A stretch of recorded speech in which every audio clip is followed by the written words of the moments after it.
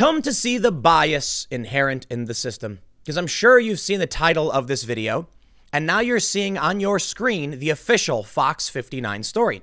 Now, why is the title that I'm using very different from what they're using? This is the bias inherent in the system. I hope you like the Monty Python reference.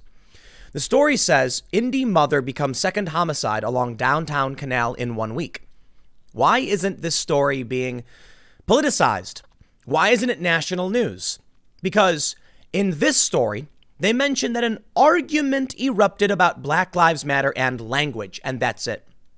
What they don't tell you is that according to the father, what happened was this young woman was walking past another group who said Black Lives Matter. She responded with All Lives Matter, and for that, she was shot three times, once in the head. Now, it's a very difficult story to cover because the media doesn't tell us what's really going on. They use vague innuendo and don't tell us what really happened, and they know. Fortunately, Cassandra Fairbanks, a personal friend of mine and journalist, contacted the family to dig into the story and see what was going on, and it was confirmed to her from the father that's what happened. Here's the story Indy mother, second homicide along downtown canal in one week. They say an Indianapolis mother was shot and killed along the canal early Sunday, marking the second homicide on the canal in a week. According to the victim's family, the shooting started with an argument over Black Lives Matter and language. Eventually, the two sides separated and walked away from each other until witnesses claim the killer opened fire from nearby bridge and ran away. Let me just break this down for you what the media, what this news outlet is doing. Black Lives Matter and language. The killer opened fire. The killer started it because she said all lives matter. And that's what we get. Here's the tweet from Cassandra Fairbanks. She says her father, Robert Doty, told the Gateway Pundit that the BLM supporters had walked by her and her fiance and said, Black Lives Matter, to which Jessica responded that all lives matter. The Black Lives Matter activists had allegedly pulled out weapons during the argument, which prompted Ramirez to do the same. This led to them backing off, but not for long. An argument started, and guns came out, but they worked things out. Unfortunately, they didn't drop it and waited for them to walk back through, and she was shot in the head, Doty told the Gateway Pundit. When, when asked how the family is holding up, Doty said, one day at a time is all we can do. Her grandfather posted on Facebook that multiple black assailants shot her in the head. Why isn't anybody outraged about this? He asked in a post. Is it that BLM was involved, or is it, uh, or, or that it was young white adults that were the victims? I asked her dad what we can do beyond pushing uh, the GoFundMe. He said, just keep pushing for justice. She deserves it. Her son deserves it. Now, I know and trust Cassandra. However, the Gateway Pundit is not a certified news outlet according to NewsGuard standards. And to be completely honest, I think the Gateway Pundit has done some questionable things in the past. I don't use them as a source. However, what we can see here is that, at least in this instance, the only real story, the only real news you're going to get is going to come from Cassandra Fairbanks and the Gateway Pundit. I think it's fair to say we can very easily see what this is an argument over Black Lives Matter and language. But what does that even mean? Come on, we know what it means. And it was confirmed now to Cassandra. This woman said all lives matter, and for it, she was killed. And this brings us to the biggest problem we face as a country. Why isn't the media talking about this? Why won't the media say end the political violence? Why is it that for over a month in Portland, there has been riots, an attempted breach on a federal building?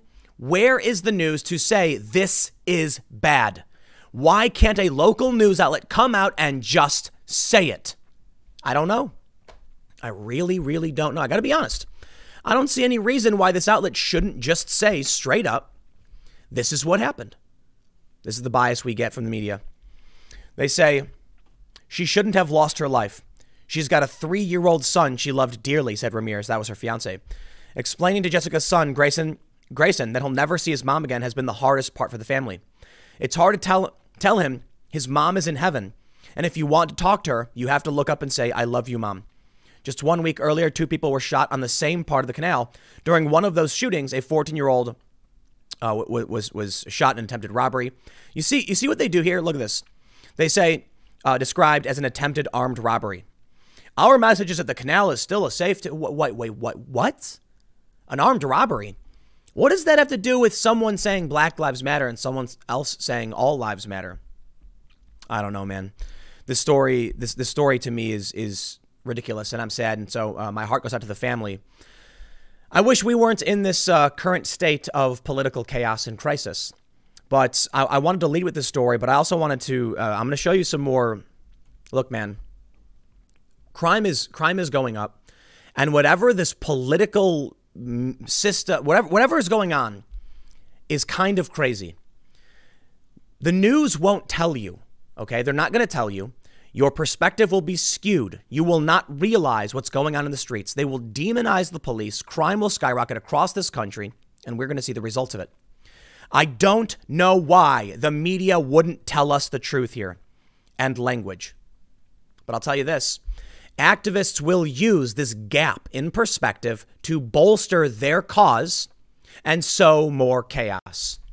I want to bring you now to New York City where the chaos is re- chaos is is is reaching uh, a crescendo, I guess. Maybe not. Maybe it's going to keep skyrocketing. So I'll, I'll wrap up this this this portion of it by just saying, you know, I wanted to highlight this because it shows you. I think it shows you why we're having this difficulty, why it's so hard to have a rational conversation, why it's so hard to say we need police, we, we, we can't be slashing the budgets in this way. We can be maybe we maybe we can do reform. Maybe we can do you know demilitarizing things like that. Maybe we can create a civil guard of some sort. But we're not going to be, to be able to actually deal with these problems, and and and very much so. They will continue to be. It'll it'll get worse and worse so long as this is the, the the news that we get. When they don't actually give us, they're scared. That's it, right? The news media must be scared to admit it. Well, I bring you now to New York City. Known gang member puts an NYPD officer in a headlock in the Bronx while he tries to make an arrest and is cheered on by the watching crowd before fleeing. A police officer was filmed being caught in a headlock in the Bronx in New York. Cops suddenly lost control and the suspect held the officer's head for four seconds. Eventually, the officer fell to the ground and the suspect ran away. Throughout the incident, there was taunting as officers attempted crowd control. The person responsible turned themselves in last week, days after the event. The suspect was released without charge pending further investigation. New York City is about to ban police officers from using chokeholds. Officers who use the practice could find themselves with a one year jail term. When you have a broken media that won't give you a. Re- uh, listen, it's not just about that one outlet, it's about the fact that every single outlet in this country should be saying this is getting crazy. But they don't. But they ignore it. And what happens next? Now in New York City, you are seeing the chaos. Now, look, this is just one story. A, a known gang member grabbed a cop, put him in a put him in a headlock. Apparently, the cops can't do that. The cops are demoralized. The anti-crime unit in, in uh, NYC was reassigned, and what's happened? Crime has skyrocketed. Shootings are skyrocketing. Surprise, surprise. My point with all of this so far is that without an honest media to tell us what's really going on, we cannot make the decisions to solve the problems. I know I bring this bit up a lot. California's Prop 209, uh, uh they're, they're appealing it. But this is an important example as I move forward and show you what's going on in New York. And, and I'll end with a bit of, I guess, catharsis. New York is collapsing, by the way. In California, the Assembly, the State Assembly, and Senate have voted to repeal their anti discrimination law, basically saying that, you know, by repealing this language, the state will have the right to discriminate based on race. But they call it the Affirmative Action Amendment. This is what happens when your media lies to you. Come November, people are going to see on the ballot do you support support or oppose the affirmative action amendment and people are going to go oh beep and they're going to click affirmative action yes not realizing it's a name.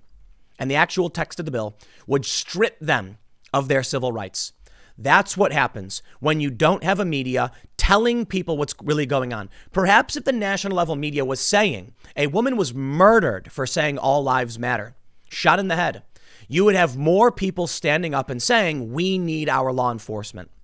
Don't get me wrong. Look, I understand they, they do, the media does cover a lot of these stories.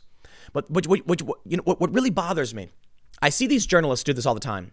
There was one post where they said, Isn't it funny how people always say, Why isn't the media talking about this? And then it turns out they did and no one cared. And I'm like, Do you see this story that I just, the first story I showed you? Black Lives Matter and language. Maybe if they told you what it was really about is about politics, you'd have a better understanding. Here's what uh, um, Michael Brendan Dougherty said about it. The upshot of this story is that a three year old learned a powerful lesson about what not to say. You see? They know. They know what really happened. He's linking to a story that doesn't actually mention the phrase all, lives matter. But these people know. They won't tell the average person, but they'll tell each other. They'll tell themselves. We have another really crazy story. This, this video is going viral. Uh, two elderly men were stabbed in shocking, unprovoked NYC subway attack amid surge in violent crime in the Big Apple. As New York sheriff says, we're starting to lose control. They're losing control because the media is not honest. It's not entirely the media, mind you, but the activists have the edge.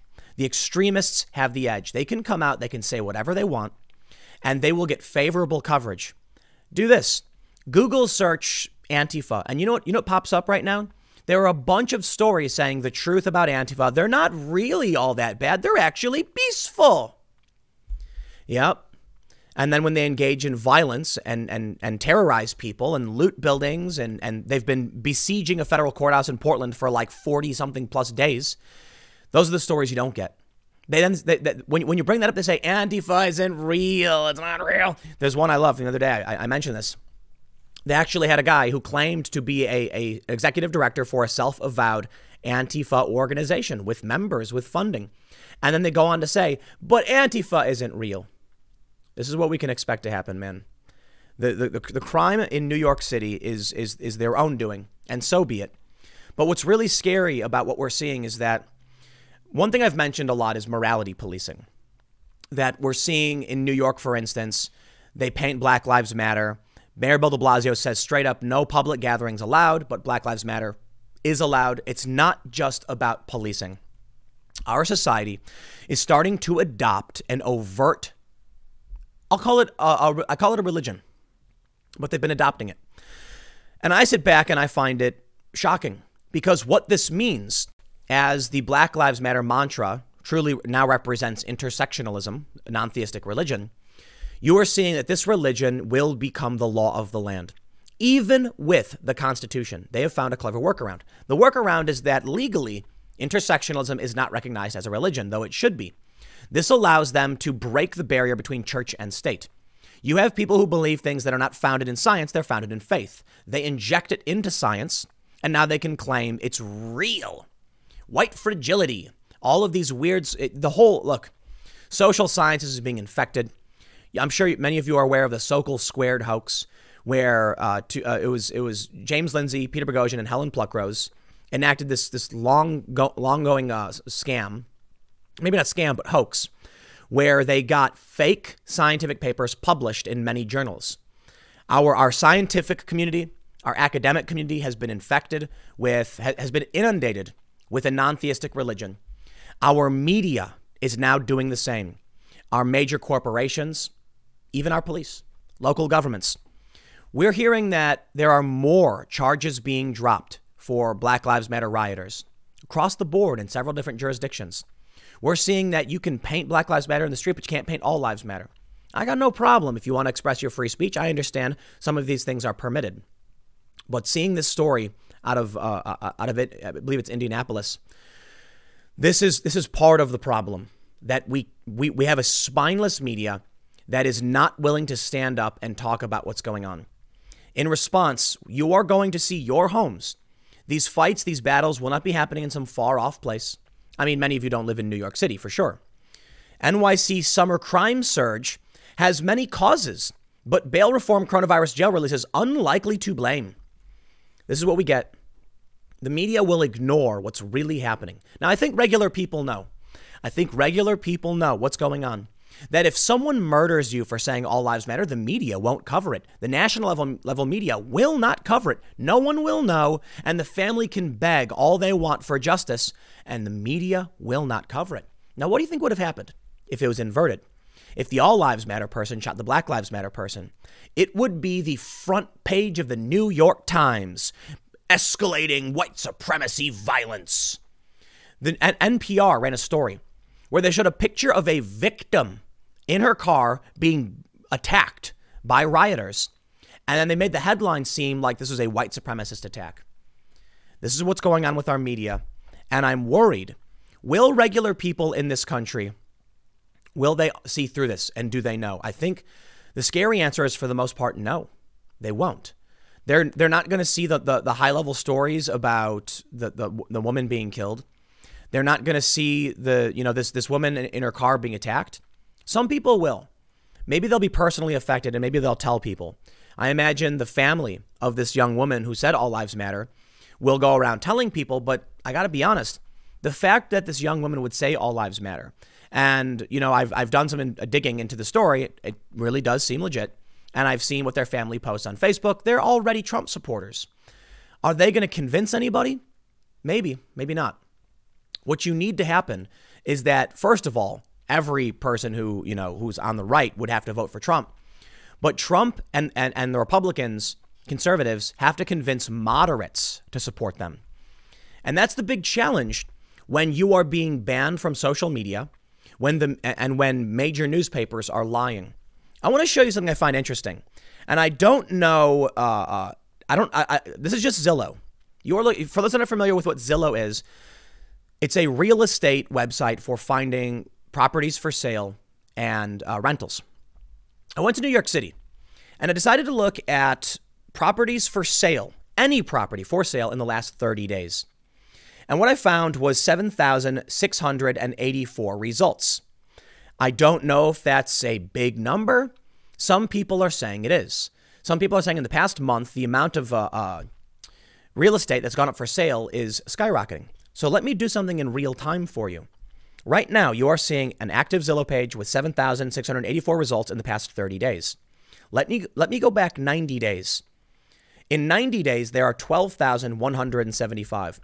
That means there's around 4,500 or so posts that happened three months ago. So, so, so let, me, let me break this down. What happened in the past month? How about widespread riots? Mayor Bill de Blasio siding with the extremists, allowing them to do their thing. And what happens? Three months ago, we have about two, you know, 2,750 people put up their property for sale. Maybe that's a lot. Maybe a month after that, we see another 2,750.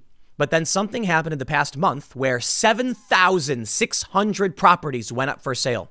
In one month, that's that's almost triple the amount for the months prior.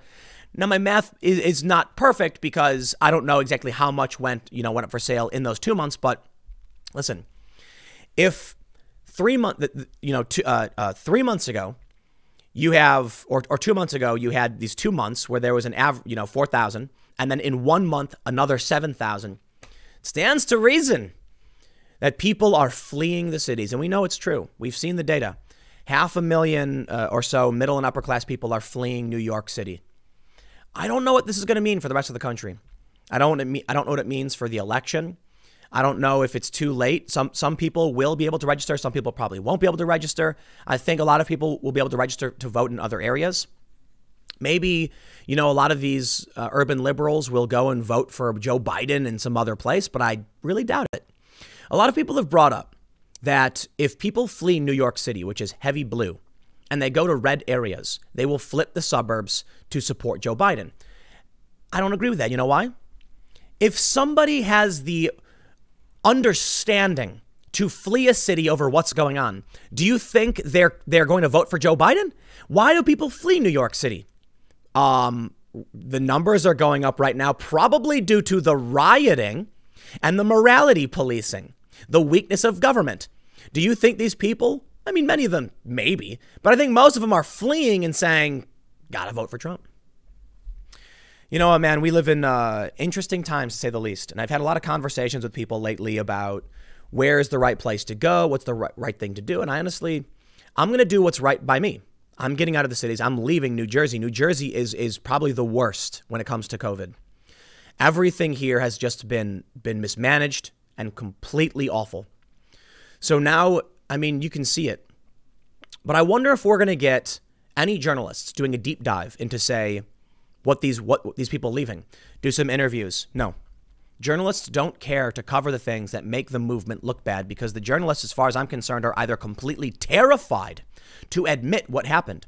I would ask Fox 59 in, in, in, in, in, uh, in Indiana, why didn't you just say an argument broke out versus Black Lives Matter or All Lives Matter?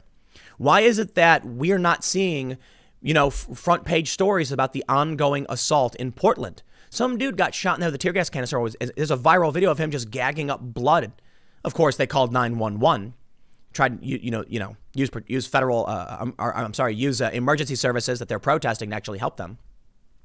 But we don't hear about it. The only way you'll hear about it probably is if you watch channels like mine and others like this.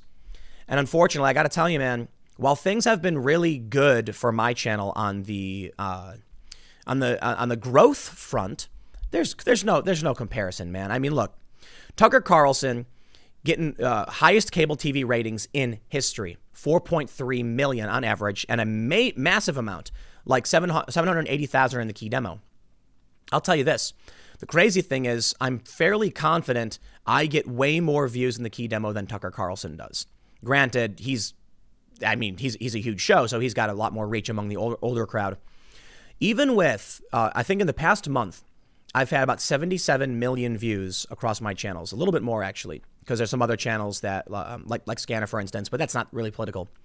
77 million views. That's good. But when you look at CNN, 300 plus million. When you look at CBS, ABC, NBC, it's it's just no question, man. We may be the actual resistance. You know, the people who are paying attention, who are seeing what's happening and talking about it, but it might not be enough. Maybe no matter what happens come November, it doesn't matter if you know or don't know. So let me end by saying this. I'm I'm sad for the family. Um, I'm mad that this is not a bigger story. Uh, I think it should have been a front page story like this is huge. Will they not talk about the Trump supporters who get attacked? They don't. And so most of my friends think that right wing violence is more frequent, when in fact, there are high profile instances instances of extreme, you know, uh, extremist violence. I don't necessarily want to say right wing, but like fringe, far right, whatever you want to call it. The far left engages in violence on a regular basis. If you want to go by the numbers, we have 42 plus days of violence in Portland. The media doesn't cover it. And so people don't know. And they can't vote for something if they don't know what it is. And they'll vote for the wrong thing based on being misled. I think the most important thing you can do is speak your mind and tell people what's happening and share these stories with them. I'll leave it there.